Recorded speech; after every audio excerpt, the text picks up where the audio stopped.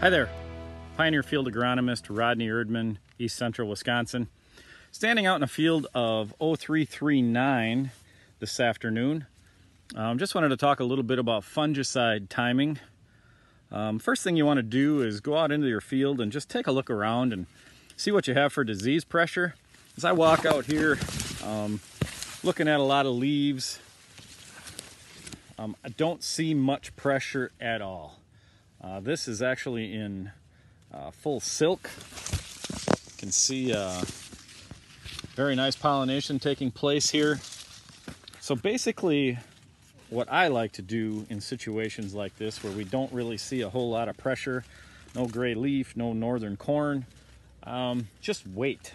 I like to wait until we actually start to see some brown silk um, just gives us a little bit more timing, gives us a little more time for the efficacy of the of the fungicide. You can see some of this right here.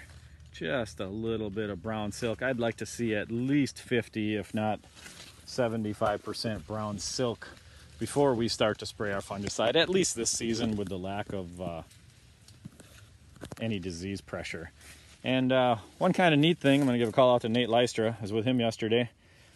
How do we determine whether or not our corn is fully pollinated yet? So I have an ear here that I actually took all the husk off of. And it's kind of neat. You just take it and give it a good shake. And whatever silk didn't fall off is actually the silk that has not pollinated a kernel yet. So if you look at this one, it's about, oh, I don't know, 5% or so that isn't pollinated yet. So it's kind of a neat little trick uh, while you're out in the field to tell whether or not your corn's been completely pollinated yet or not. So, talk to you again. Have a good day. That concludes this Pioneer Growing Point Agronomy video podcast. Visit our page on pioneer.com and follow us on Twitter and Facebook for more agronomy insights.